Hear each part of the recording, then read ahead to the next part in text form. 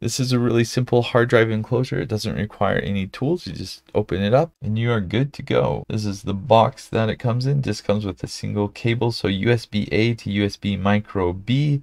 And then the case itself, it's just a plastic case, nothing special to it.